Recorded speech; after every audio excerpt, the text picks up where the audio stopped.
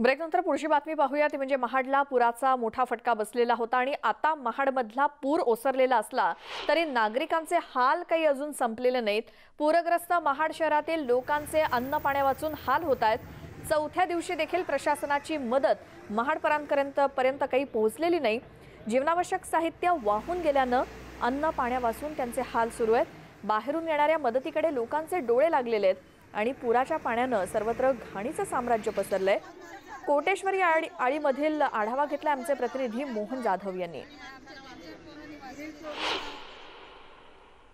आपण आहोत महाड अ, सिटीमधलं कोटेश्वरी आळी.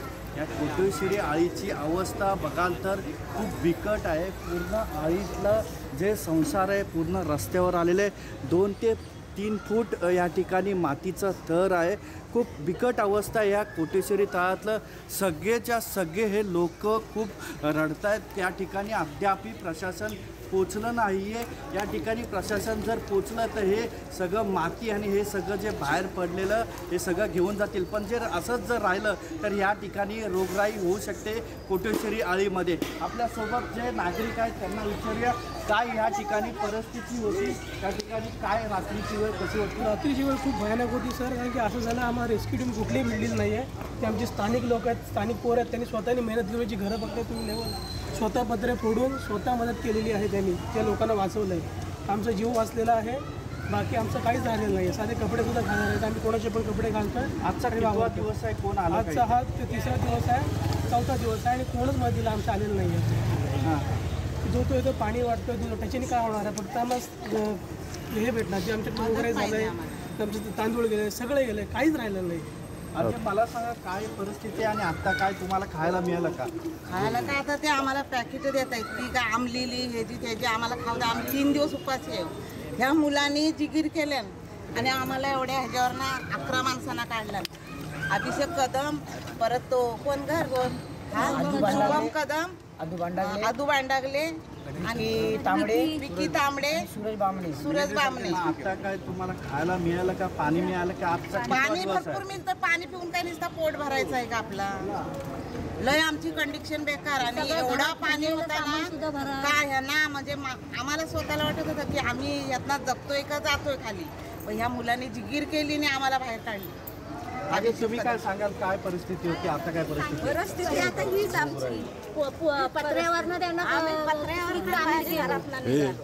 पोरांना वाटत होता हात सुटला तर ही माणसं वावत गेली तर आम्ही काय त्यांच्या मुलांना सांगणार? आमची मुलं तिकडे मुंबईला. आणि आम्ही दोन नवरा बायको आणि बाजूचे आमचे शेजारची लोक. एवढी ह्या मुलांनी काढली. कशी काढली नव्हती ती? त्या देवीला माहिती आणि आमच्या जीवाला माहिती. आम्हाला तर वाटलं होतं का आम्ही जगतोय का जातोय. असं आम्हाला खरंच या महाडमधलं. कोटेश्वरी आळी जी आहे खूप बिकट आहे त्यांची व्यथा आपण ऐकून घेतलं. हे जर या ठिकाणी प्रशासन जर पोचलं नाही तर हे एकही रस्ता किंवा एकातलाही घरातलं सामान या ठिकाणी निघणार नाही. मोहन जाधव न्यूज एटीन लोकमत महाड रायगड तर मदत आणि पुनर्वसन मंत्री विजय वडेट्टीवार सध्या कोकणातल्या पूरग्रस्त भागाच्या दौऱ्यावरती आहेत. या दौऱ्यात त्यांनी खेडमधल्या नुकसानीचा आढावा घेतला. कोकणात कायमस्वरूपी उपाययोजना करण्यासाठी तीन हजार सातशे कोटींचं पॅकेज मुख्यमंत्र्यांच्या उपस्थितीत समितीनं मान्य केल्याची माहिती त्यांनी दिली. आणि पूरग्रस्त व्यापाऱ्यांना लवकरात लवकर मदत मिळण्यासाठी मंत्रालयात विमा कंपनीच्या अधिकाऱ्यांसोबत बैठक घेणार असल्याचंही त्यांनी सांगितलं. ज्या व्यापाऱ्यांचा विमा नाही त्यांना मदत देण्यासंदर्भात मुख्यमंत्री आणि उपमुख्यमंत्र्यांशी चर्चा करणार असल्याचं वडेट्टीवारांनी सांगितलं. तसंच खेड शहरासाठी पाच बोटी शासनातर्फे दिल्या जाणार असून एनडीआरएफची तुकडी रत्नागिरी जिल्ह्यामध्ये कायम ठेवण्यासाठी विचार सुरू असल्याचं देखील त्यांनी भाष्य केलंय.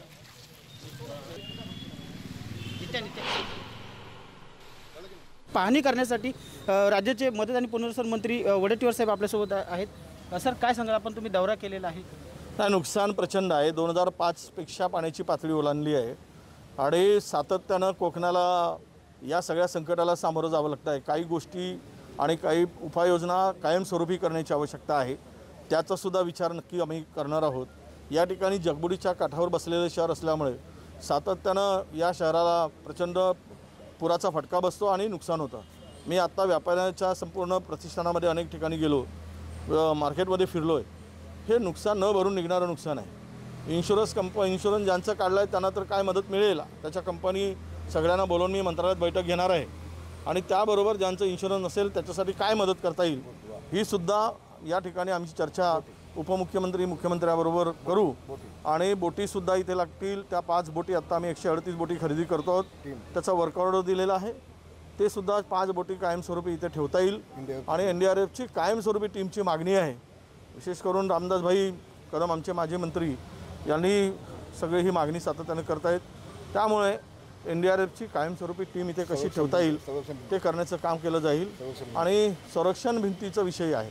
तर मी तो प्रस्ताव मागून घेणार आणि जगबुडीच्या संरक्षण भिंतीसाठी जो आ- निधी लागेल जे एस्टिमेट येईल त्याला सुद्धा मंजुरी दिल्या जाईल. पाण्यामुळे जे खराब झाले. एक पाण्यामुळे झाले हे पाण्यामुळे झाले त्याचा सगळा प्रस्ताव मागू पी डब्ल्यूला सध्या पैसे देऊ.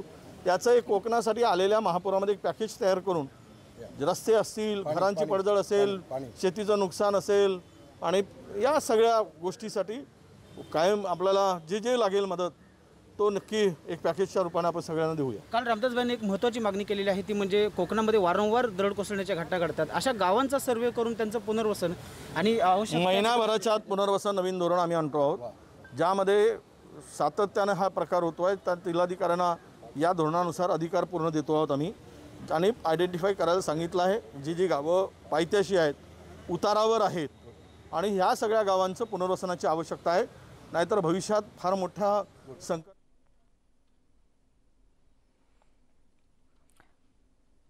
मुख्यमंत्री उद्धव ठाकरे यांची ही गाडी आपल्याला दिसते आणि ते चिपळूणमध्ये पोहोचलेले आहे चिपळूणमधल्या काही ठिकाणी ते भेट देणार आहेत. आधी कोविड हॉस्पिटलला जिथे या पुराचा फटका या कोविड हॉस्पिटलला सुद्धा बसलेला होता आणि व्हेंटिलेटरवरती असलेले आठ रुग्ण दगावलेले होते. आधी मुख्यमंत्री कोकणातल्या गुहागरमध्ये पोहोचले आणि तिथे पोहोचल्यानंतर हेलिपॅडवर उतरल्यानंतर गाडीनं ते चिपळूणपर्यंत आता पोहोचलेले आहेत. ही एक्सक्लुझिव्ह दृश्य आपण पाहतोय. कारण कोकणामध्ये आलेल्या महापुराचा आढावा घेण्यासाठी आज मुख्यमंत्री पोहोचलेले आहेत चिपळूण शहरामध्ये. खेड आणि चिपळूण या दोन शहरांना पुराचा तडाखा मोठ्या प्रमाणात बसलाय रत्नागिरी जिल्ह्यामध्ये. काल मुख्यमंत्र्यांनी रायगड जिल्ह्यातल्या महाड इथल्या तळीये गावामध्ये भेट दिलेली होती आणि आज पूरग्रस्त भागाची पाहणी करण्यासाठी म्हणून मुख्यमंत्री उद्धव ठाकरे कोकणामध्ये. आधी हवाई पाहणी दौरा आणि त्यानंतर आता चिपळूणमध्ये ते स्वतः पोहोचलेले आहेत. मुख्यमंत्र्यांचा ताफा चिपळूणमध्ये पोहोचलाय. आमचे प्रतिनिधी उदय जाधव हे चिपळूणमध्ये आहेतच. उदय मुख्यमंत्री आता चिपळूणमध्ये पोहोचल्यानंतर पुढे काय काय? आपण थेट लाईव्ह दृश्य दाखवत आहोत. चिपळूण शहरामध्ये मुख्यमंत्री उद्धव ठाकरे यांचा दाखल झालेला आहे. आणि गांधी चौक इथल्या बाजारपेठेमध्ये सर्वप्रथम मुख्यमंत्री उद्धव ठाकरे येत आहेत आणि इथल्या व्यापारी वर्गांशी इथले जे दुकानदार आहेत त्यांचं खूप मोठं या महापुरामध्ये नुकसान झालेलं आहे. स्थानिक रहिवासी आहेत त्यांचं देखील खूप मोठं नुकसान झालेलं आहे. त्यांच्याशी ते इथे चर्चा करणार आहेत त्यांना दिलासा देणार आहेत. आणि इथून ते पुढे अपरांत हॉस्पिटल जे आहे तिथे ते जाणार आहेत. सध्या मुख्यमंत्र्यांचा ताफा जो आहे तो इथे जवळपास पोहोचलेला आहे. कोणत्या क्षणी मुख्यमंत्री इकडे येतील आणि इथे बाजूलाच काही व्यापारी वर्ग जे आहेत दुकानदार आहेत त्यांचं खूप मोठं नुकसान झालेलं आहे. ते देखील इथे आलेले आहेत. त्यांना देखील मुख्यमंत्र्यांशी भेटायचं आहे. त्यांचं काय नुकसान झालेलं आहे ते त्यांना मुख्यमंत्र्यांना सांगायचं आहे. त्यांच्या काय मागण्या आहेत ते देखील त्यांना सांगायचं आहे. आजपर्यंत कधीच झालं नाही. असं नुकसान जे आहे ते इथे झालेलं आहे. त्यामुळे प्रचंड नुकसान जे आहे चिपळूण शहराचं झालेलं आहे. आणि खूप मोठं आर्थिक नुकसान चिपळूणवासियांचं झालेलं आहे.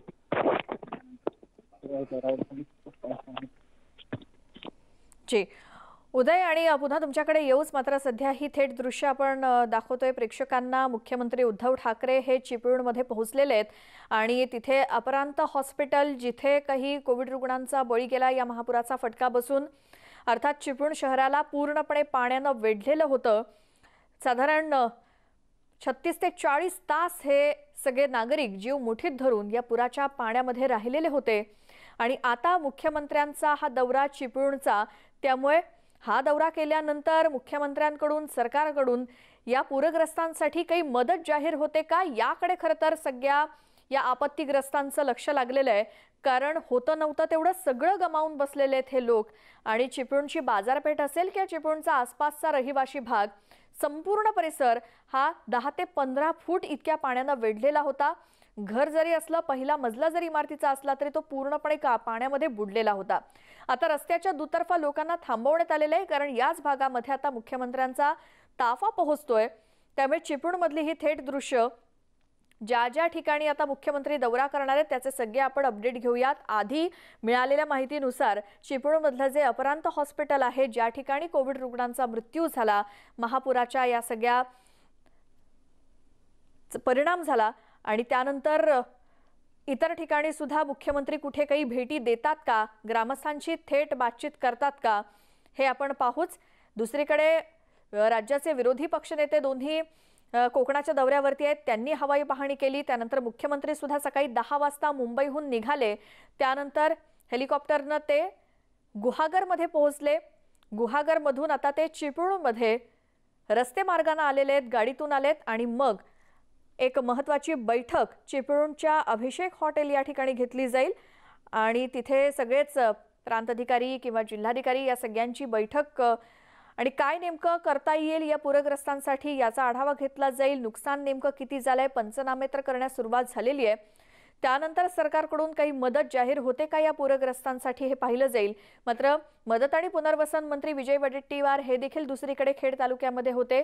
त्यांनी तिकडचा दौरा केला आणि कोकणामध्ये या पुराच्या पार्श्वभूमीवर काही कायमस्वरूपी उपाययोजना करण्यासाठी एक घसघशीत असं पॅकेज सुद्धा त्यांनी जाहीर केलंय. मात्र ज्या ज्या लोकांचे संसार उघड्यावरती पडलेत त्यांना वैयक्तिकरित्या मदतीची अपेक्षा आहेच. कारण घरात खायला अन्न नाही प्यायला स्वच्छ पाणी नाही अशी अवस्था सध्या खेड आणि चिपळूणमधल्या लोकांची झाली आहे. मुख्यमंत्री लगेचच या सगळ्या नुकसानग्रस्त भागाचा पाहणी दौरा करण्यासाठी आलेले आहेत. पोलीस तिथे दाखल आहेत आणि रस्ता मोकळा करण्याचं काम तिथे सुरू आहे. आता मुख्यमंत्री चिपळूणमध्ये येत आहेत. म्हटल्यावर नागरिक सुद्धा सतर्क झालेले आहेत. मुख्यमंत्र्यांसमोर आपल्या व्यथा मांडण्यासाठी ते सज्ज आहेत. तिथे सगळ्या या गर्दीला नियंत्रणात ठेवण्याचं काम पोलिसांकडून केलं जात आहे. कारण याच रस्त्यावरून आता मुख्यमंत्र्यांचा ताफा जाणार आहे. चिपळूण शहर असेल किंवा आसपासच्या भागामध्ये जिथे जिथे या महापुराचा फटका जोरदार बसलेला आहे आणि नागरिक सध्या चिखल उपसण्याचं काम करतायत. अर्थात मुख्यमंत्री आता कुठे कुठे जातात कोणकोणत्या भागांची पाहणी करतात आधी ज्याप्रमाणे माहिती मिळाली आहे त्याप्रमाणे आता कोविड हॉस्पिटल जे आहे चिपळूणमधलं अपरांत तिथे महापुराचा फटका बसून आठ रुग्णांचा मृत्यू झाला आहे त्या हॉस्पिटलला आधी भेट देणार आहेत. त्यानंतर कशा पद्धतीनं ही आढावा बैठक होते आणि मग पूरग्रस्तांना काही मदत मिळणार का याकडे खरं तर सगळ्यांचं लक्ष लागलेलं आहे. कारण मुख्यमंत्री चिपळूणमध्ये आल्यात म्हटल्यावर काहीतरी आशा आहे या पूरग्रस्तांना की मुख्यमंत्र्यांकडून काही मदत दिली जाईल. कारण सगळा हवाला आता सरकारवरती आहे. सरकारकडून काही मदत मिळावी अशी या सगळ्या व्यापाऱ्यांची आणि सामान्य नागरिकांची इच्छा आहे अपेक्षा आहे. कारण बाजारपेठेत जर आपण एक लक्ष टाकलं चिपळूण असेल किंवा खेड असेल जिकडे तिकडे फक्त आणि फक्त चिखलाचं साम्राज्य दिसतंय घरातल्या आणि दुकानातल्या प्रत्येक वस्तूवर चिखल आणि गाळ आहे. हा चिखल कसा उपसायचा? एकीकडे अन्न आणि पाण्याचा प्रश्न आहेच. घरातल्या सगळ्या व्यक्ती या फक्त चिखल उपसण्याच्या कामाला लागलेत. त्यामुळे सध्याची ही बिकट अवस्था खेड आणि चिपळूणमध्ये. त्यातच रोगराई पसरण्याची सुद्धा भीती आहे. आणि वारंवार येणारा आता म्हणजे हे काही पहिली वेळ नाही अशा प्रकारचा महापूर. दोन हजार पाच साली सुद्धा असाच महापूर या सगळ्या ग्रामस्थांनी नागरिकांनी अनुभवलेला आहे. त्यामुळे ही दुसरी वेळ आहे इतक्या मोठ्या प्रमाणात पूर येण्याची. मात्र आता पुन्हा यापुढे अशी परिस्थिती उद्भवू नये म्हणून कायमस्वरूपी काही उपाययोजना कोकणासाठी केल्या जाव्यात अशी देखील त्यांची अपेक्षा आहेत. आमचे प्रतिनिधी उदय जाधव आपल्यासोबत आहेतच. उदय आत्ता जे जिथे पोलिसांचा बंदोबस्त आहे नागरिक दुतर्फा रस्त्याच्या जमलेले आहेत त्यांना खरं तर अपेक्षा असेल मुख्यमंत्री येत आहेत म्हटल्यावर त्यांच्यासमोर आपण आपल्या व्यथा मांडू. मुख्यमंत्री काय बोलतायत काय पॅकेजची घोषणा करतायत का काही मदत देत आहेत का याच्याकडे देखील लक्ष आहे. अगदी बरोबर आहे. सर्वसामान्य चिपळूणकर जे आहेत. गेले चार ते पाच दिवस अतिशय त्रस्त झालेले आहेत त्या महापुरामुळे. आता थोडं पाणी ओसरलेलं आहे. त्यामुळे त्यांचं जे काही झालेलं नुकसान आहे ते भरून काढण्यासाठी प्रमुख मागण्या घेऊन ते मुख्यमंत्र्यांना इथे भेटण्यासाठी आलेले आहेत. त्यांना मुख्यमंत्र्यांकडे त्यांचं गारणं जे आहे ते मांडायचं आहे. अतोनात नुकसान चिपळूणवासियांचं झालेलं आहे. तळघर असेल पहिला मजला असेल दुसरा मजला असेल इथपर्यंत महापुराचं पाणी जे आहे ते घुसलं होतं. वाशिष्ठी नदीचा एवढा मोठा महापूर चिपळूण वासियांनी पहिल्यांदाच पाहिलेला आहे. दोन हजार पाच साली देखील इथे महापूर आला होता. मात्र त्या महापुराची तीव्रता आज जेवढी आहे महापुराची तेवढी नव्हती. त्याच्यापेक्षा किती पटीने हा महापूर जो आहे मोठ्या तीव्रतेने चिपळूण शहराला बसलेला आहे. चिपळूण शहरामध्ये जवळपास तीन दिवस पाणी जे आहे ते तसंच होतं. जागेवरून साचलेलं होतं. त्यानंतर आता पाणी ओसरल्यानंतर संपूर्ण चिपळूण शहरामध्ये प्रत्येक घरामध्ये प्रत्येक दुकानामध्ये तळ मजल्यावरती फक्त आणि फक्त चिखलच साचलेला आहे. या चिखलातून मार्ग काढत आता चिपळूण वासियांना उभारी घ्यायची आहे. त्यांचं शहर जे पूर्णपणे पाण्याखाली बुडालं होतं आता चिखलाने पूर्णपणे मापलेलं आहे. हा चिखल सारून पुन्हा एकदा जीवनाची नव्याने सुरुवात करायची आहे. मात्र त्या जीवनासाठी त्यांना प्रशासनाची आणि राज्य सरकारची देखील तितकीच मोठी साथ हवी आहे आर्थिक मदत हवी आहे. जे काय आता नुकसान झालेलं आहे ते साफसफाई करणं अतिशय महत्वाचं आहे. काही चिपळूणच्या ज्या अंतर्गत रस्त्यांवरती आता इथल्या नगरपालिकेने निर्जंतुकरण जे आहे करायला सुरुवात केलेली आहे. कारण तिथे रोगराई पसरण्याची देखील शक्यता व्यक्त केली जाते. अनेक जे जनावरं आहेत रस्त्यावरती ते काही ठिकाणी मरून पडलेली आहेत. अशी नदीच्या पुरामुळे अनेक ठिकाणी काही प्राण्यांची जीवितहानी जी आहे ती देखील झाली ते मिळते त्यामुळे मोठ्या प्रमाणात रोगराई देखील पसरू शकते. त्यामुळे लवकरात लवकर साफसफाई करून निर्ज निर्जंतुकरण करून पुन्हा एकदा शहर जे आहे त्यांचे दैनंदिन व्यवहार जे आहेत ते सुरू करतील. या दृष्टिकोनातून हे नागरिकांची अपेक्षा आहे. मात्र त्यासाठी त्यांना राज्य सरकारची देखील तितकीच मोठी अपेक्षा आहे. आता राज्य सरकार नेमकं काय निर्णय घेते हे पाहावं लागणार आहे. राज्याचे प्रमुख मुख्यमंत्री उद्धव ठाकरे कोणत्याही क्षणी चिपळूण शहरातील गांधी चौक हा जो मध्यवर्ती भाग आहे तिथे येणार आहेत. हा एक सखल भाग आहे आणि इथे आशिषी नदीच्या पुराचं पाणी जे आहे ते मोठ्या प्रमाणात दुसरं होतं. इथले जवळपास पहिला मजला आणि दुसरा मजला हा पाण्याखाली होता. आता जी समोर आपण थेट दृश्य पाहत आहोत.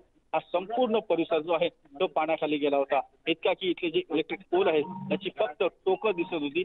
एवढं पाणी या चिपळूण शहरामध्ये घुसलं होतं. आणि पाण्याबरोबर जो काही चिखल या शहरात घुसला होता त्यामुळे प्रचंड नुकसान जे आहे चिपळूण वासियांचं झालेलं आहे. अनेक छोटे मोठे दुकानदार आहेत. त्यांचं पूर्ण अर्थ.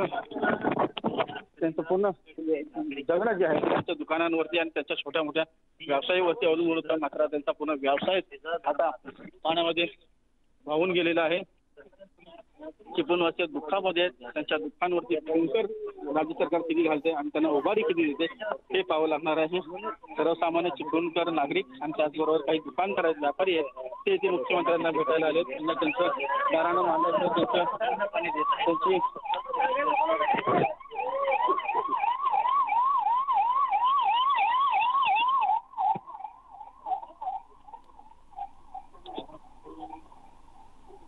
आपण थेट दृश्य चिपळूण मधली जी अत्यावश्यक सेवा आहे ती सुरू पूर्ववत सुरू असल्याचं एकूण दिसतं आपल्याला. कोणालाही तात्रिक तात्काळ मदत लागली तर ती पोहोचवण्यासाठी नगरपालिका जिल्हाधिकारी प्रशासन हे प्रयत्न करताना दिसतात. मात्र जे नुकसान झालेलं आहे ते नुकसान भरून काढणं हे सर्वात मोठं आव्हान जे आहे चिपळूणच्या सर्वसामान्य नागरिकांच्या समोर असणार आहे. त्यासाठी राज्य सरकार प्रशासन त्यांना किती मदत करते आहे ते पाहावं पाहावं लागणार आहे. प्रत्येक घराच्या बाहेर एक कचऱ्याचा ढिगारा जो आहे तो आपल्याला पाहायला मिळतोय. हा कचऱ्याचा ढिगारा सांगतोय की गेल्या तीन ते चार दिवसांमध्ये चिपळूण वासियांनी काय काय सहन केलेलं आहे त्यांना काय काय सहन करावं लागलेलं आहे. त्यांच्या घरातली भांडी कुंडी असेल अगदी स्वयंपाकघरातलं देखील सामान असेल असं सर्वच आता रस्त्यावरती आलेलं आहे. कारण त्या सर्वांवरती चिखल माखलेला आहे. घरातल्या ज्या दैनंदिन वस्तू आहेत त्या वस्तू सर्व भिजून गेलेलं आहे. त्यामुळे ते आता निरुपयोगी झालेले आहेत. सर्व वस्तू आता त्यांना बाहेर काढाव्या लागत आहेत. दैनंदिन व्यवहारातल्या वस्तू. त्यामुळे जे काही आपलं उदरनिर्वाहासाठी सामान सुमान सर्वसामान्य नागरिकांनी जमा केलं होतं. त्यासाठी घाम गळून त्यांनी कष्ट करून पैसे जमा केले होते. सगळं मोठं नुकसान जे आहे त्याची गुणकर नागरिकातून झालेलं आहे. त्यांना आता गरज आहे एका मोठ्या आर्थिक पॅकेजची राज्य सरकार त्यांना किती मदत करते. हे पाहावं लागणार आहे. स्वतः मुख्यमंत्री आज चिपळूण वासियांना दिलासा देण्यासाठी येत आहेत. त्यांना दिलासा कशा प्रकारे देत आहेत देत आहेत त्यांना आर्थिक उभारी करण्यासाठी काय मदत करतायत हे पाहावं लागणार आहे. पुढच्या पुढच्या कोणत्याही क्षणी मुख्यमंत्री उद्धव ठाकरे हे इथे दाखल होत आहेत. आपण थेट दृश्य पाहतो मुख्यमंत्री उद्धव ठाकरे यांचा दाफा चिपळूणच्या बाजारपेठ भागामध्ये दाखल झालेला आहे. मुख्यमंत्री उद्धव ठाकरे पुढच्या काही सेकंद तिथे दाखल होत आहेत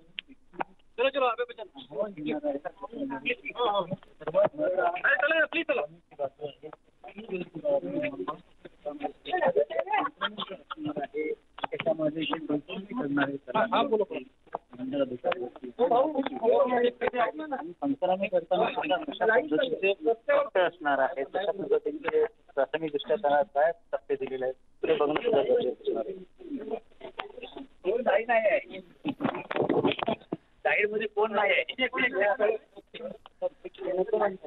ही थेट दृश्य चिपळूणच्या बाजारपेठेमधली आहेत आणि तिथे थोड्याच वेळात मुख्यमंत्र्यांचा ताफा आता पोहोचणार आहे. कारण चिपळूणमधल्या पूरपरिस्थितीची पाहणी करण्यासाठी मुख्यमंत्री उद्धव ठाकरे सकाळीच मुंबईहून निघालेत. आधी गुहागरमध्ये ते पोहोचले त्यानंतर त्यांच्या गाड्यांचा ताफा गुहागरमधनं निघालाय. रस्ते मार्गानं ते चिपळूणमध्ये पोहोचतायत. आणि हे सगळे नागरिक मुख्यमंत्र्यांची वाट बघतायत. कारण आता जर कोण या नागरिकांना मदत करणारं असेल तर ते फक्त मायबाप सरकार. आणि मोडलेला हा संसार पुन्हा उभारण्यासाठी सरकारकडून खूप मोठ्या मदतीची अपेक्षा या नागरिकांना आहे. कारण घरातलं जेवढं होतं नव्हतं तेवढं सगळं या पुराच्या पाण्यानं हिरावून घेतलेलं आहे. घरात फक्त आणि फक्त सध्या चिखल आहे. तोच उपसण्याचं काम सध्या गेले दोन दिवस हे सगळे नागरिक करतायत. खाण्याची पिण्याची सोय नाही. अशा परिस्थितीमध्ये फक्त चिखल उपसण्याचं काम करतायत.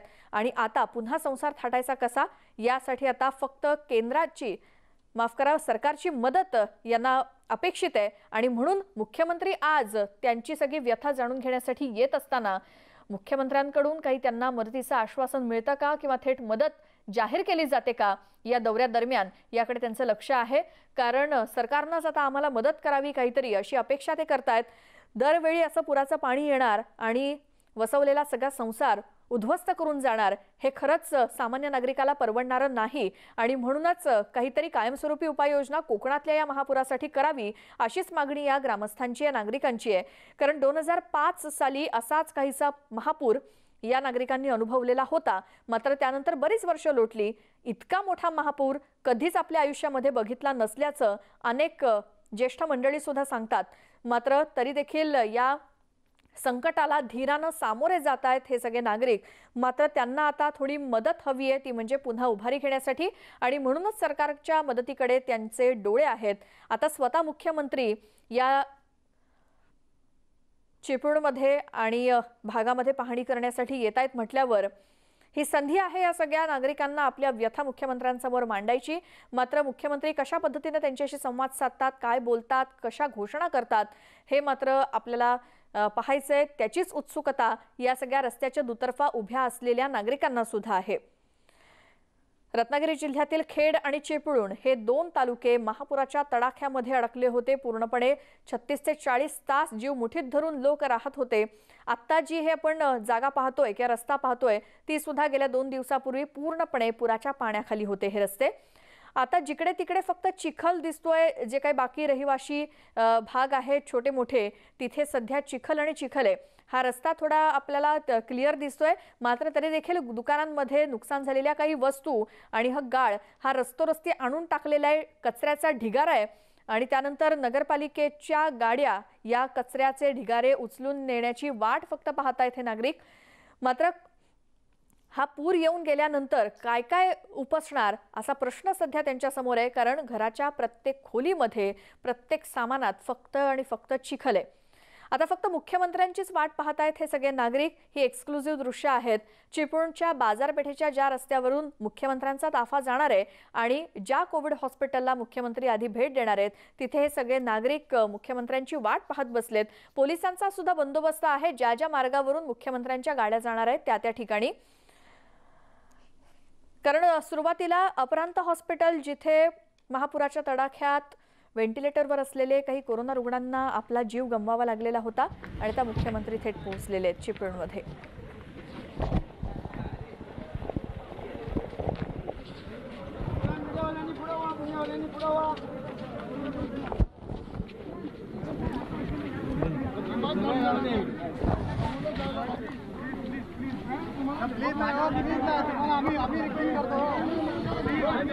रजनीश रजनीश इकडे रजनीश इकडे रजनीश अरे इकडे.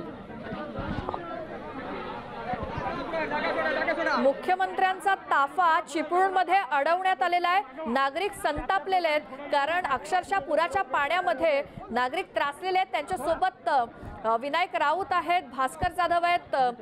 त्याचसोबत पालकमंत्री सुद्धा आहेत. मात्र या सगळ्या गराड्यात सगळ्या मुख्यमंत्री दिसत आहेत कारण मुख्यमंत्र्यांचा ताफा नागरिकांनी अडवलेला दिसतोय. मात्र मुख्यमंत्री या नागरिकांची समजूत काढताना दिसत आहेत उदय सामंत सुद्धा त्यांच्यासोबत आहेत. सगळे मंत्रीगण आहेत आणि स्वतः मुख्यमंत्री. मात्र ज्या वेळेला चिपळूणमध्ये मुख्यमंत्र्यांचा ताफा शिरत होता त्यावेळी त्यांचा ताफा अडवण्याचा प्रयत्न झाला. काही नागरिक संतापलेले दिसत आहेत आणि मुख्यमंत्र्यांसमोर आपल्या व्यथा मांडतायत. मुख्यमंत्री सुद्धा त्यांना शांतपणे उत्तरं देताना दिसत आहेत. नुकसानग्रस्त भागाचा पाहणी दौरा स्वतः मुख्यमंत्री तिथे उतरून करतायत. रत्नागिरी आणि सिंधुदुर्ग जिल्ह्यातले काही मंत्री नेते हे देखील मुख्यमंत्र्यांसोबत सध्या आहेत. आमचे प्रतिनिधी उदय जाधव देखील आपल्यासोबत आहेत. उदय मुख्यमंत्री आता सध्या कोणत्या भागामध्ये आहेत? इतका नागरिकांचा घोळका तिथे का? रोषाला सामोरं जावं लागतंय का?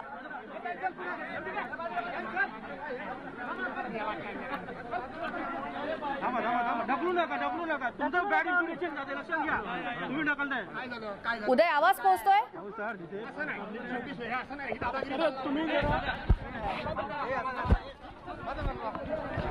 आवाज पोचत आहे मात्र तिथे. भास्कर जाधव यांची काही स्थानिकांची किंवा काही तिथे बाचाबाची होताना दिसते कारण खूप मोठा गोंधळ झालाय. मुख्यमंत्री आलेत म्हटल्यावर नागरिक मोठ्या प्रमाणात जमलेले आहेत.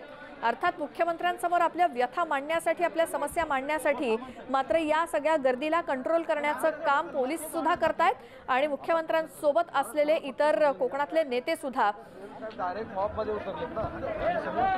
तुम्ही या- काही अंतरावर आहा मी बघतो इथं अंतरावर आहा. मी बघतो मी पोलीस मी सांगतो मी सांगतो. मला. तुम्हाला काय करायचं? लांबून शूट करतो आम्ही मी तेच सांगतो जरा पुढं तुम्ही जर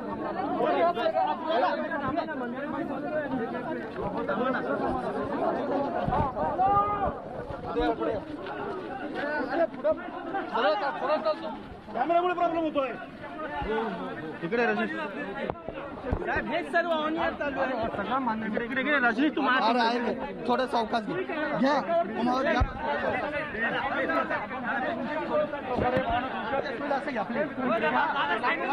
अरे बाबा तिथे कवरेज चालू आहे. तुम्ही ढकला ढकली काय करते? तू मागे तू पुढे सीएम दाखव. बस.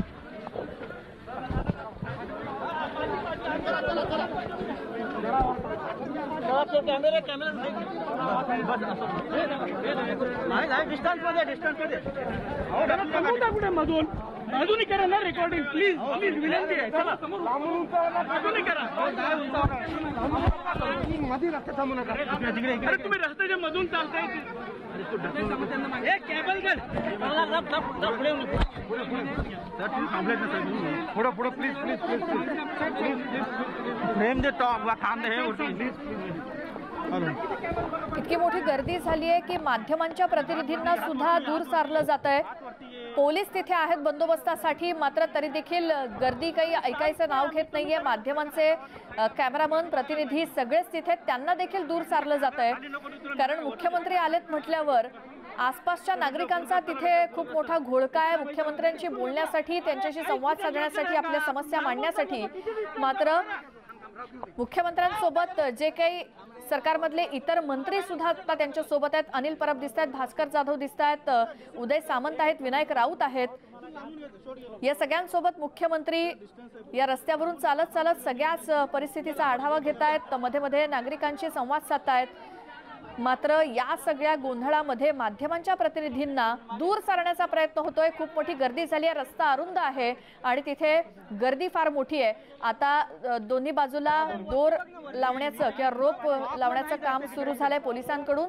कारण गर्दी आटोक्यात आणणं पोलिसांना फार मुश्किल होत आहे आणि त्यामुळेच माध्यमांच्या प्रतिनिधींना सुद्धा दूर लोटलं जात आहे मात्र मुख्यमंत्री नेमका काय संवाद साधतायत त्या नागरिकांशी? काय त्यांना आश्वासन देत आहेत हे खरं ऐकणं महत्वाचं आहे. मात्र माध्यमांच्या प्रतिनिधींना त्यातून दूर सारलं जात आहे काय मुख्यमंत्री संवाद साधतायत हे ऐकण्याचा आपण प्रयत्न करतोय. ही एक्सक्लुझिव्ह दृश्य आहेत चिपळूणच्या बाजारपेठेतल्या रस्त्यावर खूप मोठी गर्दी सध्या झालेली आहे. कारण मुख्यमंत्री उद्धव ठाकरे या पूरग्रस्त भागाची पाहणी करण्यासाठी चिपळूणच्या रस्त्यावरती आहेत. त्यांच्यासोबत इतर पदाधिकारी आणि नेते मंडळी सुद्धा आहेत. रजनीश. रजनीश वरती रजनी वरती रजनीश. इकडे इकडे इकडे रजनीश ते इथे इथे इथे.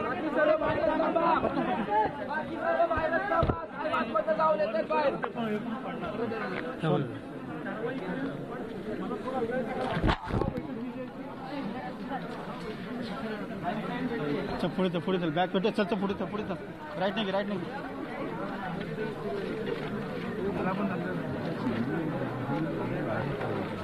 पुढे जा फ्रंटला जा.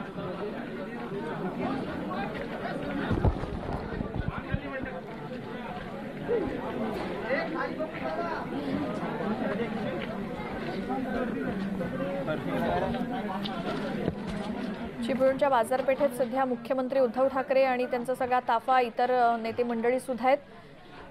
नागरिकांच्या समस्या जाणून घेत आहेत त्यांना काहीतरी उत्तरं देत आहेत काय आश्वासन देत आहेत मुख्यमंत्री हे कळत नाही आहे मात्र. त्यांच्याशी संवाद साधतायत. माध्यमांच्या प्रतिनिधींना मात्र तिकडनं दूर सारलं जात आहे खूप मोठी गर्दी झाली आहे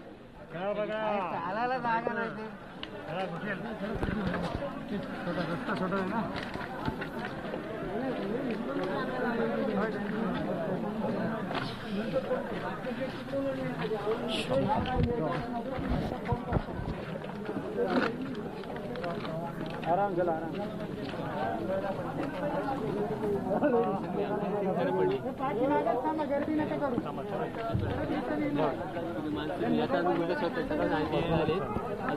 गर्दी इतकी मोठ्या प्रमाणात झाली आहे की आता पोलिसांनी दोन्ही बाजूनी असे रोप धरलेले आहेत जेणेकरून एके ठिकाणी गर्दी होणार नाही. मात्र रस्ता सुद्धा अरुंद आहे. बाजारपेठेचा गजबजलेला भाग आहे. आणि याच ठिकाणी दोन दिवसापूर्वी अगदी या इमारतींच्या छताला लागेल या घरांच्या छताला लागेल इथपर्यंत पाणी होतं.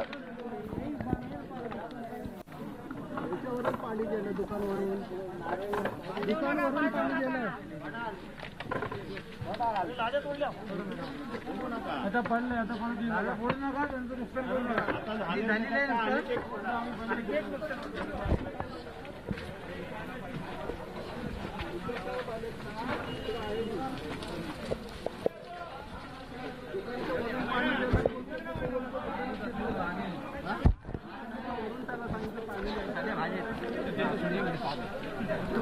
आपल्या सगळ्या तक्रारी हे नागरिक मुख्यमंत्र्यांसमोर मांडतायत आणि मुख्यमंत्री सुद्धा शांतपणे त्यांच्या तक्रारी ऐकून घेत आहेत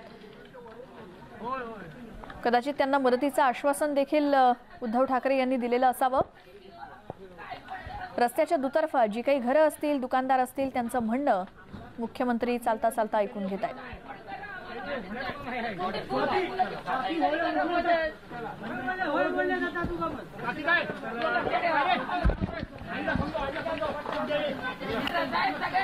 तुम्ही काहीतरी. तुम्ही केलं तर रोडाला दुसरी आश्वासनं देऊन जाऊ नका हो.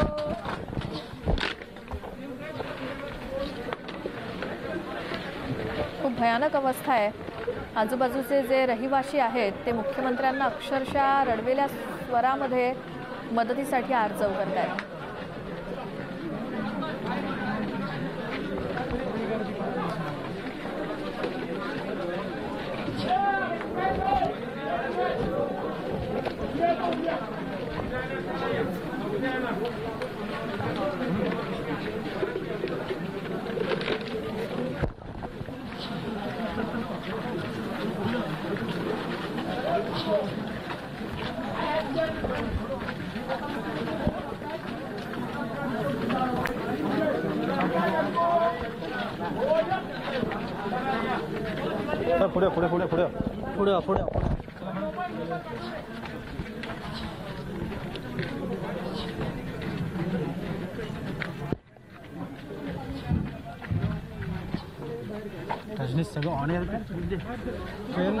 बाबा.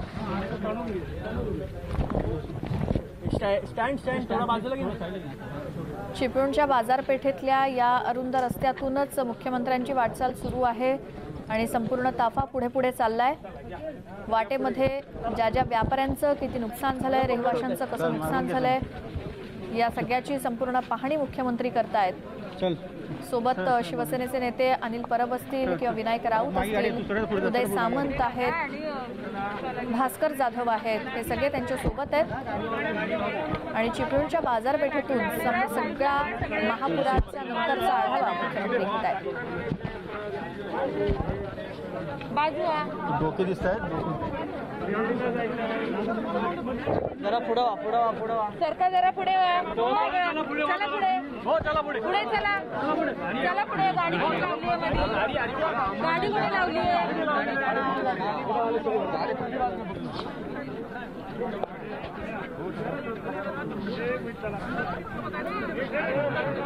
सरकार ही सगळी पाहणी केल्यानंतर एक आढावा बैठक सुद्धा मुख्यमंत्र्यांकडून घेतली जाणार आहे चिपळूणमध्येच. मात्र त्याआधी परिस्थिती काय आहे हे स्वतः डोळ्यांनी मुख्यमंत्री पाहत आहेत.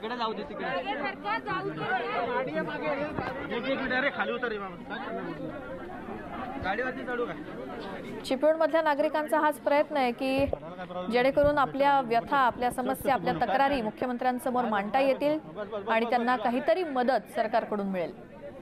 थांबा तो टायरवर पाहिजे रे, टायर टायरवर पाहिजे. बाबा.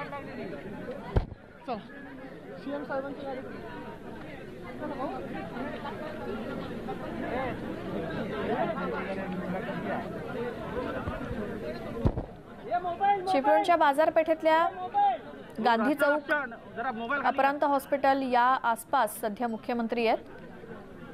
बाजारपेठेचा हा संपूर्ण भाग गेल्या दोन दिवसापूर्वी हा पूर्णपणे पाण्याखाली होता. वाटेमध्ये भेटणारे नागरिक सगळे ना- रहिवाशी आहेत.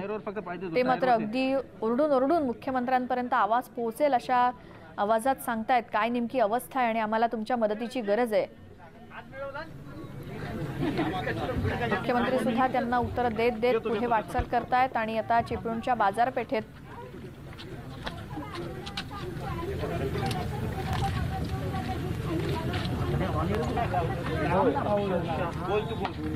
mobile mobile.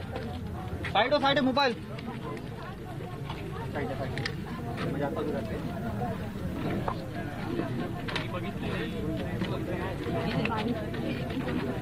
वरती पण अरे इथे नाही आहे काही. इथूनच घ्या जागेवरूनच कर.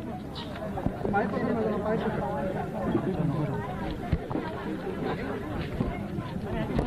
विकी वॉलेट खाली करा ना सुद्धा खाली ना टाकू आता काय करणार खाली उतर खाली उतर.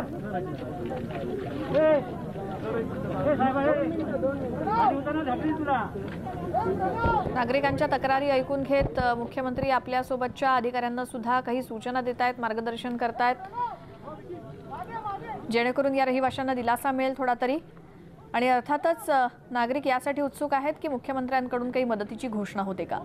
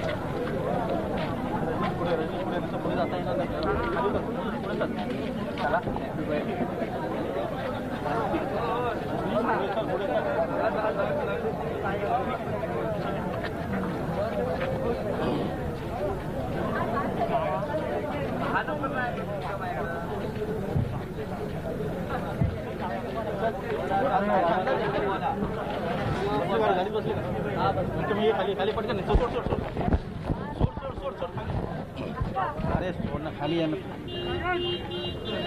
इथेच थांबा इथेच थांबा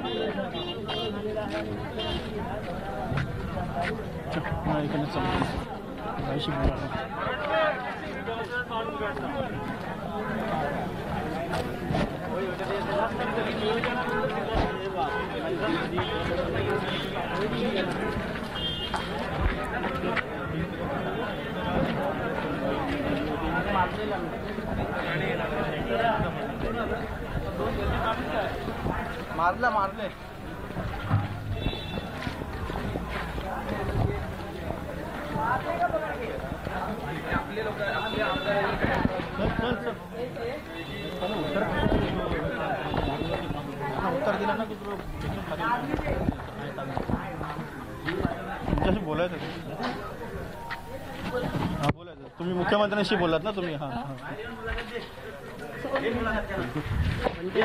सावका सावका सावका ये खाली. सांग आता. रडू नको. नाही त्यांना- बोलू दे त्यांना काय बोलायचं. या भावना. रोलिंग कंप्लीट खरोखर बोल बोल. रोलिंग बोल. रोल रोल मुख्यमंत्री उद्धव ठाकरे आज चिपळूण शहरामध्ये दाखल झाले. पूरग्रस्त चिपळूण शहराची त्यांनी स्वतः पायीच चालत पाहणी केली आणि इथल्या नागरिकांशी त्यांनी संवाद साधला. एका ताईने त्यांना त्यांचा जो आक्रोश आहे तो रडत रडत सांगितलेला आहे. त्यांचं खूप नुकसान झालं. आपण इथे पाहू शकतो त्यांच्या दुकानामध्ये किती उंचापर्यंत पाणी जे आहे ते शिरलं होतं. या पत्राच्या वरती पाणी गेलं होतं असं ते सांगतात आणि अजूनही त्यांचं सामान सुमान जे चिखलाने पूर्ण मापलेलं आहे. पै पै करून आम्ही खूप- सगळं करतो. खूप आणि नुकसान निदान झालेलं पाणी आहे. सोडायच्या आधी सांगायचं पाऊस पडला ठीक आहे. त्यांनी जेव्हा पाणी सोडलं तेव्हा आधी कल्पना द्यायला पाहिजे होती. ह्याच्या आधी त्यांनी सांगितलेलं आम्ही पाणी सोडणार आहे. आम्ही सगळ्या व्यापाऱ्यांनी उचललेलं होतं. जर त्यांनी कल्पना दिली तर आम्ही हेही उचललेलं असतं. आज आमच्या डोक्याच्या वर पाणी गेलं आम्ही मागे राहतो. आमचं घर उद्ध्वस्त झालं आमच्या सगळे सगळं अख्खी बाजारपेठ उद्ध्वस्त झाली. असा एक दुकानदार नाही तुम्ही बाजारात शोधू शकत की जो आज उभा आहे काही तुम्ही आणि काही करायला पाहिजे. तुम्ही कुठल्याही मदत करा तुम्ही काय एवढं कर्ज घेता जनतेसाठी हे अजूनही त्यांनी कर्ज घेऊन या. सगळ्यांना मदत केली पाहिजे आणि सगळ्यांना उभं राहायला प्रयत्न करून दिला पाहिजे. किती दिवस पाणी होतं तुमच्या इथे आमच्या इथे दोन छत्तीस तास पाणी होतं. आमच्या इथे छपराच्या वर दुकानात आता इथून जवळजवळ एक दहा पं बारा फूट पाणी आमच्या इथे होतं. आणि अख्खी बाजारपेठ माझं एकटीच नव्हे अख्खी बाजारपेठेचं नुकसान झालं. तुम्ही अख्ख्या बाजारपेठेत बघा. उद्या जरी बाजारातले लोक म्हणाले किराणा घ्यायचा आहे तरी घेऊ शकत नाहीत. ह्याची काहीतरी त्यांनी त्यांनी पाणी भरणार होतं. ठीक आहे पाणी भरलं. पाणी एवढं कधी पाणी भरत नाही. पाणी सोडलेलं पाणी आहे. सोडायच्या आधी यांनी कल्पना दिली असती ना याच्या आधी जी उचलली होती गेल्या महिन्यात ते सगळ्या व्यापाऱ्यांनी उचललं असतं. एक कोण उभं करणार आहे सगळं? लोक पै पै गोळा करून सगळा संसार उभा करतात. आमचं घरापासून सगळं पाण्यात आहे घरातल्या सगळी इलेक्ट्रॉनिक उपकरणं दुकानातलं सगळं माणूस उभा कुठनं राहील? एका ठिकाणी राहू शकतो. सगळ्या ठिकाणी नाही उभं राहू शकत. या गव्हर्नमेंटनं कर्ज घ्यावं कुणाकडनं पण? आमच्या सगळ्या व्यापाऱ्यांना मदत करावी. माझं एकटीचं म्हणणं नाही. माझ्या पे माझ्यापेक्षा बेकार अवस्था झाली सगळ्या लोकांची. त्यांचं पण त्यांनी बघावं आणि सग कोणताही व्यापारी नाही. एक व्यापारी सांगावं की हा चांगला आहे. ज्या ठिकाणी पाणी जात नाही ना अशा ठिकाणी पाच एक एक मजला पाणी होतं. याचा त्यांनी विचार करावा. नुसतं येऊन भेटून उपयोग काय नाही. काही उपयोग नाही. नुसतं मुख्यमंत्र्यांशी तुमचं घराणं मांडलं तुमचे व्यथा त्यांना सांगितले. ते देखील तुमचे संवाद त्यांनी काय- काहीतरी करून काहीतरी सगळ्या व्यापाऱ्यांसाठी त्यांनी काहीतरी मदत करावी. बाकी आमचं काय म्हणणं नाही. बाकी काही म्हणणं नाही की त्यांनी सगळ्या व्यापाऱ्यांसाठी काहीतरी करावं. एवढं आलेत एवढी सिक्युरिटी घेऊन आलेत.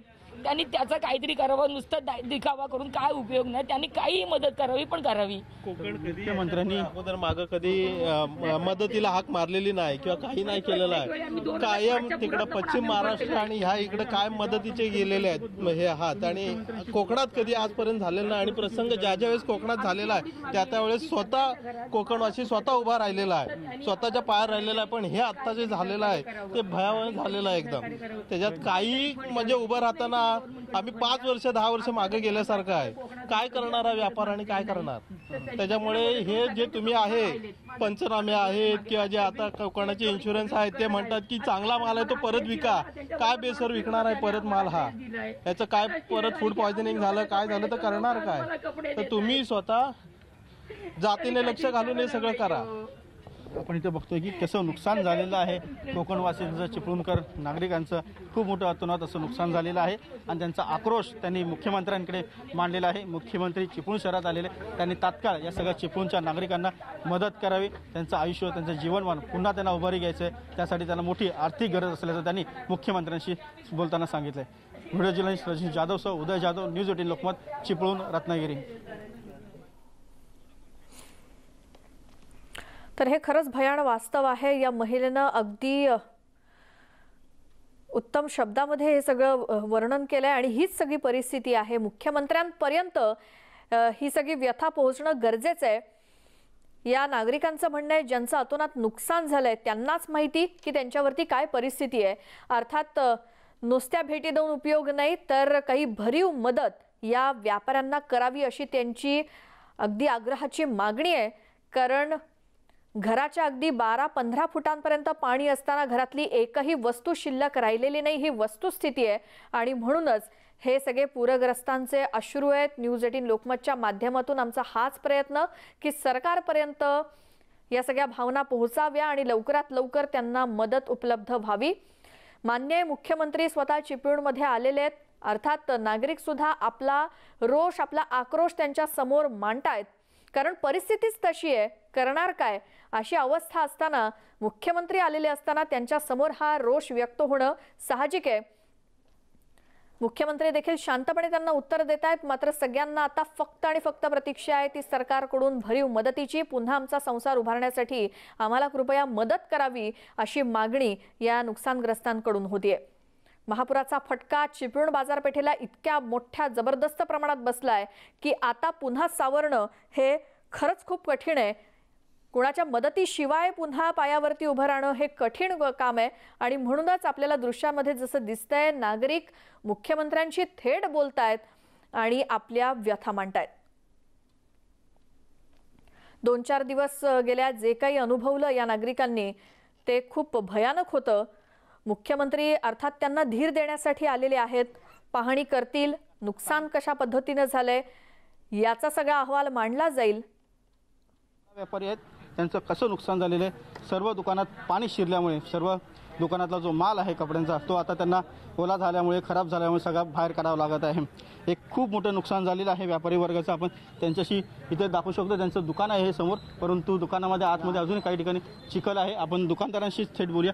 किती नुकसान झालं किती दिवस पाणी होतं तुमच्या? इथे दोन दिवस दोन ते तीन दिवस पूर्ण पाणी होतं. आणि पूर्ण म्हणजे शंभर टक्के नुकसान झालेलं आहे. सिलिंगलाच पाणी टेकलेलं आहे. काही म्हणजे काही शिल्लक राहिलेलं नाही. अजूनसुद्धा माल आता आम्ही दोन तीन दिवस झालं माल काढतोय चिखल सा काही म्हणजे काही शिल्लक राहिलेलं नाही. पूर्ण सर्व गेलेलं आहे शिल्लक. त्यामुळे एकदम म्हणजे आमची परिस्थिती म्हणजे आम्ही आता मेल्यासारखंच जर झालेलं आहे. काही आता शासन काय मदत करेल त्याच्यावरच आमचं आता उभं राहणार आहे. कर्जाचं हे काय बिनव्याजी कर्ज वगैरे देईल त्याच्यावरच आमचं आता चालणार आहे. बाकी काही नाही आता शंभर टक्के पूर्ण गेलेलं आहे. काही राहिलेलं नाही शिल्लक वर बोर्डाला पाणी लागलं शंभर टक्के नुकसान झालेलं आहे. दुकानाचा जो नेम प्लेटचा बोर्ड आहे त्या बोर्डाच्याही वरती पाणी गेलं होतं. इतकं मोठं नुकसान या दुकानदारांचं झालेलं आहे आणि हे नुकसान खूप मोठं आहे. काही हजारांमध्ये नाही तर काही लाखांमध्ये आहे. त्यामुळे या सर्व दुकानदारांना राज्य सरकारकडनं प्रशासनाकडनं तात्काळ मदत मिळणं आवश्यक आहे. त्यांना जर पुन्हा उभं राहायचं असेल तर राज्य सरकारकडनं आणि प्रशासनाकडनं त्यांना आर्थिक मदतीची मोठी गरज आहे. आणि ती देखील त्यांना तात्काळ मिळणं गरजेचं आहे. स्थानिक चिपळूणकर रहिवासी हे आक्रोश करतायत. राज्य सरकार प्रशासनाकडे मदत मागतायत. त्यांना तात्काळ मदत ही मिळाली पाहिजे. व्हिडिओ जर्नलिस्ट रजनीश जाधवसह उदय जाधव न्यूज एटीन लोकमत चिपळूण रत्नागिरी. ही भयावह भयावह अशी स्थिती होती दोन दिवसापूर्वी. त्याचे परिणाम आज व्यापारी असतील किंवा सामान्य नागरिकसुद्धा भोगतायत. कारण ज्यावेळेला पुराचं पाणी ओसरलं त्यावेळेला खरी परिस्थिती डोळ्यासमोर आली. किती प्रमाणात व्यापाऱ्यांचं आणि रहिवाशांचं नुकसान झालंय? घरातली एकही इलेक्ट्रॉनिक वस्तू वाचू शकलेली नाही. अर्थात लोकांनी फक्त आणि फक्त स्वतःचा जीव वाचवलेला आहे. घरातली कोणतीही वस्तू त्यांना वाचवता आलेली नाही. हे साड्यांचं दुकान दिसतंय. प्रत्येक साडी आणि प्रत्येक माल या दुकानातला खराब झालेला आहे त्याचा पुढे काहीही उपयोग नाही जसं आत्ता हे व्यापारी म्हणाले शंभर टक्के नुकसान झालंय ही नुकसान भरपाई त्यांना कोण देणार हा त्यांचा सवाल आहे जे न्यूज करेल ते कोण नाही करू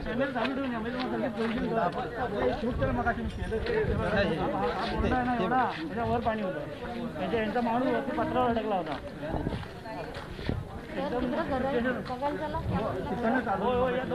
नाही बघायला ना अवस्था बेकार. लहान लहान घर आहे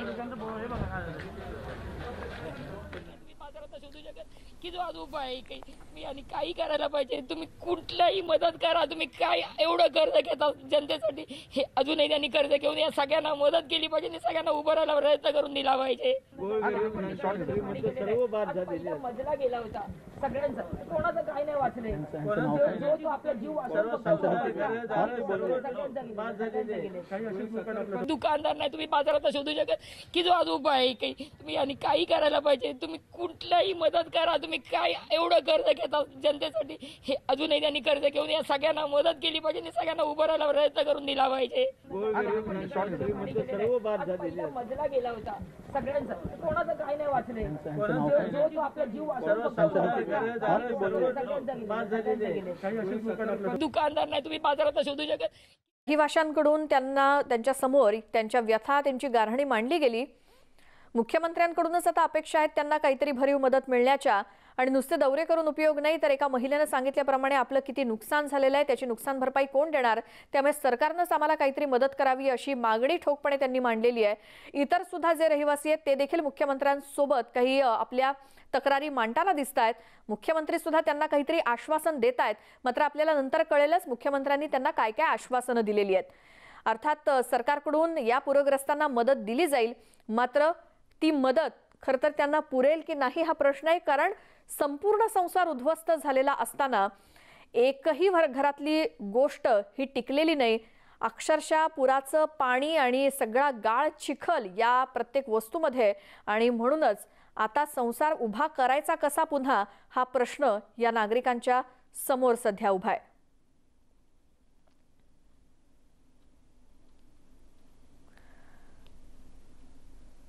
त्यातल्या त्यात मुख्यमंत्र्यांनी पाहणी दौऱ्यादरम्यान या नागरिकांच्या व्यथा तक्रारी देखील जाणून घेतलेल्या आहेत.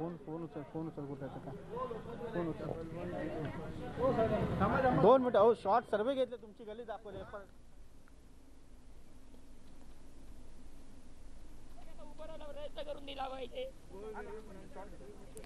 मुख्यमंत्री या सगळ्या रहिवाशांना धीर देत आहेत. सरकारकडून काहीतरी मदत दिली जाईल अशा प्रकारचं आश्वासन मुख्यमंत्री उद्धव ठाकरे देत असणार आहेत. कारण परिस्थितीच इतकी गंभीर आहे. मुख्यमंत्र्यांना देखील त्याची जाणीव आहे. मात्र कशा पद्धतीनं या सगळ्या पूरग्रस्तांना मदत द्यायची त्याचं नियोजन सरकारतर्फे केलं जाईल आणि मगच मदतीची घोषणा काहीतरी केली जाईल आता या सगळ्या भागाची पाहणी केल्यानंतर चिपळूणमध्येच अधिकाऱ्यांसोबत त्यांची एक बैठकसुद्धा होणार आहे. अर्थात स्वतः डोळ्यांनी पाहिल्यानंतर मुख्यमंत्री काहीतरी भरीव मदत करतील अशी अपेक्षा या नागरिकांची आहे आणि मागणीसुद्धा आहे. कारण इतकं सगळं संसार उद्ध्वस्त झालेला असताना पैपै जमा करून उभारलेला संसार डोळ्यासमोर उद्ध्वस्त झालेला पाहून अक्षरशः अनेकांच्या डोळ्यातले अश्रू थांबत नाही आहेत हे आता कुठून सुरुवात करायची? पुन्हा उभारी घ्यायला. आणि काय काय आता निस्तरायचं? कुठला चिखल उपसायचा? असा सगळा प्रश्न यांच्या समोर पडलाय. कारण घराच्या छतापर्यंत पाणी लागलेलं असताना आपण फक्त कल्पनाच करू शकतो की घरातल्या सामानाची काय अवस्था झाली असेल. घरातला टी व्ही असेल फ्रीज किंवा इतर इलेक्ट्रॉनिक उपकरणं याची तर पूर्णपणे नासधूस झाली आहे. पुराचं पाणी त्यात शिरल्यानंतर त्याची काय अवस्था झाली असेल आपण कल्पना करू शकतो. त्यामुळे प्रत्येक वस्तू आता घरातली जमा करणं हे खूप कठीण गोष्ट आहे. त्यामुळे मगाशीच एक प्रतिक्रिया आपण ऐकली पाच ते दहा वर्ष आम्ही मागे गेल्यासारखं झालंय. जो काही व्यापार होता जी काही छोटी मोठी दुकानं होती त्यातला माल पूर्णपणे नष्ट झालाय. जर किराणा माल घ्यायचा असेल एखादी वस्तू जरी बाजारात जाऊन विकत घ्यायची असेल तरी देखील ती उपलब्ध नाहीये अशी परिस्थिती सध्या चिपळूणच्या बाजारपेठेत आहे.